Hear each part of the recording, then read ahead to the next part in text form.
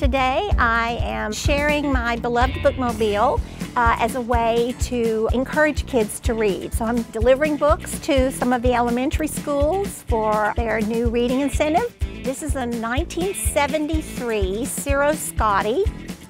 It is 15 feet long. It is a camper that I have just adopted and share as I travel around. It's quite a conversation piece. The Bookmobile is here to kick off our reading campaigns, Get Cherokee Reading. This is a spinoff from the Georgia program, Get Georgia Reading. We wanted to highlight some of the strategies that are used in our everyday classrooms that really teach reading and also to get kids excited about reading, being lifelong readers. The Bookmobile is going to visit our Title I schools and deliver 50 books to our boys and girls at those schools.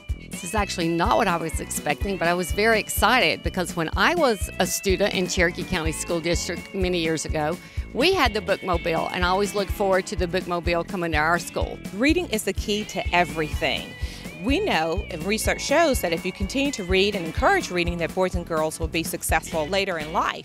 We also have found that students that are not reading by third grade become lifelong struggling readers. And that's something that we want to make sure is not happening here in cherokee county. So thomas jefferson loved books. He had a beautiful library and that's what he said. Can you read what it says?